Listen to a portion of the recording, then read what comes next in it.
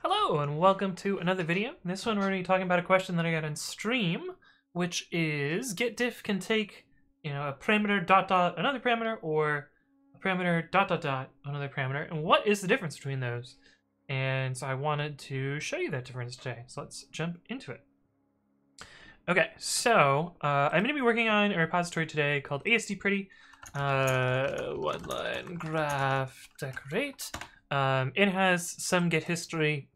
It doesn't really matter what repository I'm using. I just decided to pick this one because it's it's gonna be easy enough. Actually, let's put this over here. Git log one line graph decorate.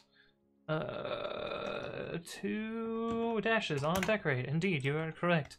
Um, okay, so I'm gonna simulate like time travel here. We're gonna go back in time and pretend that we're at the point where 2.0 was released. Now, there's some changes that have happened after 2.0, uh, but let's pretend that we, you know, on this day created a branch from the 2.0 release and we made some changes to it. So I'm going to do that by doing git checkout this dash b some feature branch. And maybe on this feature branch, we're going to do, I'm just going to do a silly change to this function where we're just going to, I don't know, print hello world here. Maybe that's what the bug called for, but know, this is this is a made-up example. And maybe we added that, and maybe we committed this. Um, no, at hello world. Uh, and that's that's maybe what our change was for this particular patch, whatever. Now, if I want to see the differences made on this particular branch, I might compare it against the master branch. Uh, but in this case, the main branch has progressed beyond this. So, you know, let's say while that feature branch was in flight, we also did all these other things to to the the main branch and merged in a bunch of different changes and and other stuff. So, you know, the main branch continued onwards while we were still, you know, working on this patch. And so if you went to diff this against master, you would run git diff master um, or you could do git diff master dot dot head uh, or the branch name or you know something that represents the current branch. And you'll notice here that there's all sorts of other stuff that happened on master, which uh, you know didn't didn't happen in my branch. The only thing that I did in my branch was this one line here, but we have all this other stuff that we don't really don't really care about because that all came from here. And you'll see the same happens if we do master uh, dot dot head. You'll see that you know the diffs the the diff is backwards. Uh, or the, the diff is extra and it's also backwards because I went from master to head instead of head to master, but whatever.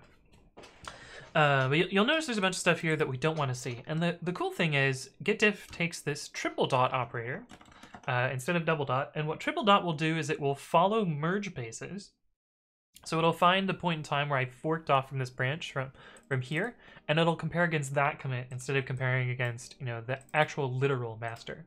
So if we do git diff master dot dot head, you'll see that we get exactly this, um, you know, exactly this diff here. And the way this actually works, and you can actually simulate this, I think this is a newer feature, so you can actually simulate this in older Git, by using git merge base. Uh, so we do git merge base master head. So it takes two arguments, which are the two things that we're trying to find where they had a common ancestor at. Um, and you can see here that it points to AA1E7, which happens to be where I forked off from.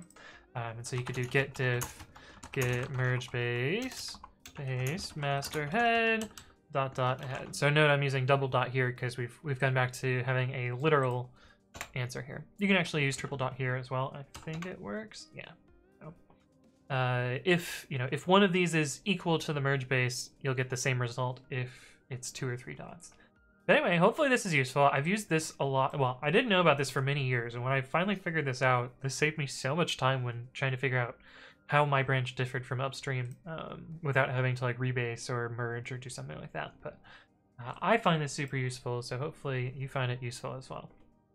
But if you have additional things you want me to explain, leave a comment below or reach out to me on the various platforms. Thank you all for watching. I will see you in the next one.